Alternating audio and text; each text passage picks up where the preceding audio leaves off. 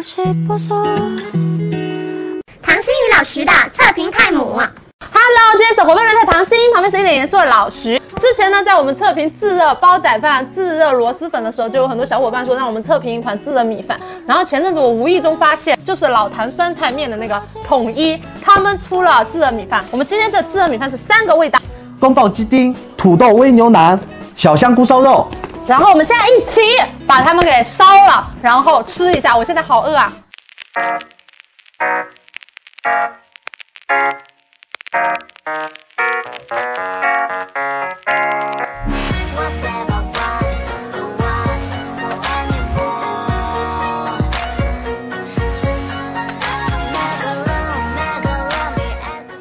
面前的三顿饭呢已经好了，我面前的呢是宫爆鸡丁饭。它的小菜呢跟那两个不同，它是花生，然后加在了宫爆鸡丁里面搅拌一下，就变成了真正的宫爆鸡丁。另外两款呢都是榨菜。对，它我已经忍不住，我要试一下这个汤汁浇到饭上的感觉。哦，我觉得它真的好香啊！我自己是很喜欢，就是菜跟饭分开的这种组合。很多自热米饭都会把菜包直接浇在那个米饭上面，就会弄得像一团浆糊。对，然后那种米饭就没有本身米饭这种香味，就给人一种全部在吃酱的感觉。吃完了以后又油腻，然后嘴里又是酱的味道，就很重很咸。但是它哦，如果你喜欢拌酱的人，就可以把调料后面再扔到饭里面；如果你比较喜欢单独吃那，就可以饭归饭，菜归菜。没错，宫爆鸡丁我刚刚吃了一口，它没有很重的辣味，有一点点的辣味吧。然后它的鸡肉都是大块大块，很嫩，嗯，很好吃。好吃哎。多汁的杏鲍菇搭配上嫩嫩的鸡肉，最后还有那种脆脆的花生的口感，就是很香。它的鸡肉是那种煮的非常软烂的，然后由于花生是刚刚放进去，所以真的很脆。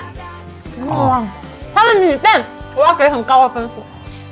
它的米饭不是那种煮好的饭，然后是直接加热的那种，它是用米，然后加水，然后加热的。我来尝一下它的土豆味牛肉，嗯，很好吃吗？这个更好吃啊。汤汁里有牛肉本身的食材香，没有那么多添加料的味道，然后吃起来的话很鲜甜，不油腻。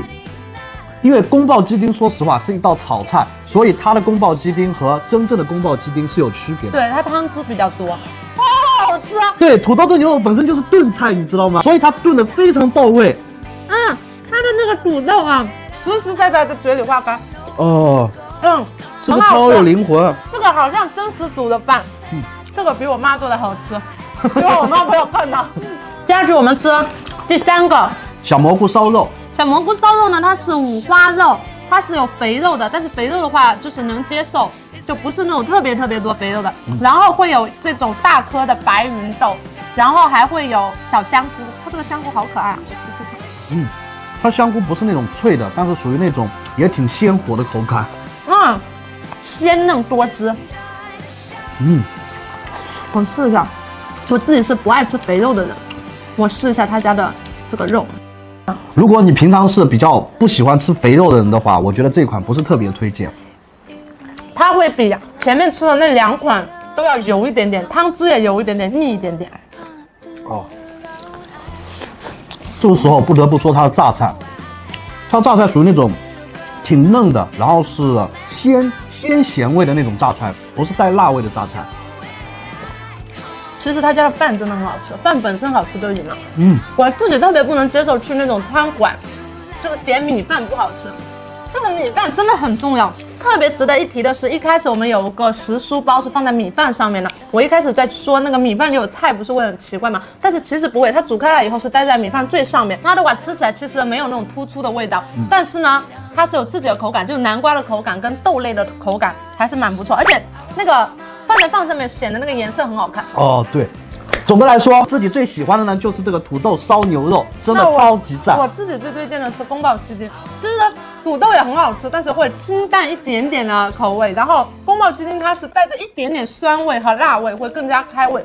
嗯就根据自己喜欢选择就可以了。喜欢这条视频的话，记得给我们点赞、留言、加转发，你的一个小支持、小互动，对我们来说都是。非常的重要。今天好开心哦，吃到的三个东西都好好吃啊。好啦，下期再见，八八六。No, I